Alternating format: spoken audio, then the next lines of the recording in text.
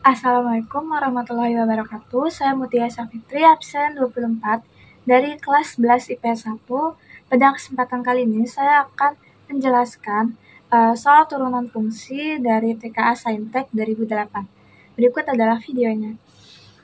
Nah, berikut soal turunan fungsi TKA Saintek 2008.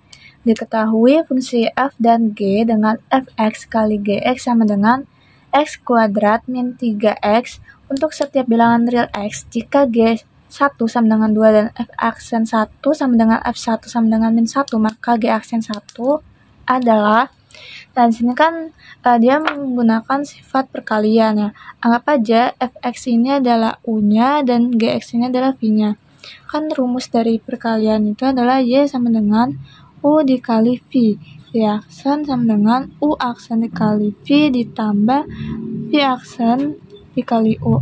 Nah, di soalnya itu kan Fx dikali Gx sama dengan X kuadrat min 3X. Nah, ini langsung kita uh, masukin ke dalam rumusnya aja.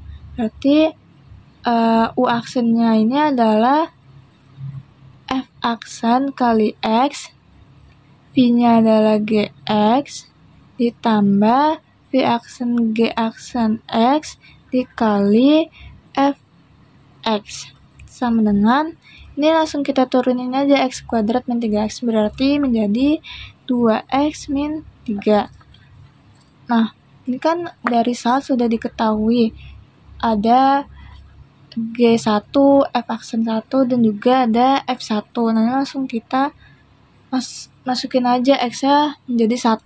Berarti F aksen kali 1 kali G ditambah G aksen kali 1 dikali F sama dengan 2 dikali 1 min 3.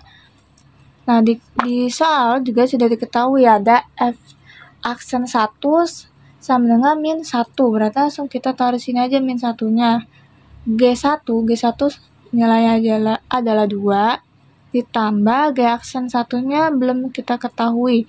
Dikali F1 nya adalah min 1 2 dika, dikurang 3 adalah min 1 nah ini tinggal kita kalikan. Uh, min 1 dikali 2 kan adalah hasilnya min 2 ya. Nah, ini min 1 kita turunin. Nah, min 2 ini kita pindah ruaskan ke sebelah kanan. Jadi, min 1 ditambah 2. Nah, berarti di sini G aksen 1 dikali min 1 sama dengan min 1 ditambah 2 hasilnya adalah 1. Nah, Berarti G aksen 1 sama dengan 1 dibagi min 1. Hasilnya adalah min 1. Nah, sekian penjelasan dari saya. Mohon maaf bila ada kekurangan ataupun kesalahan. Wassalamualaikum warahmatullahi wabarakatuh.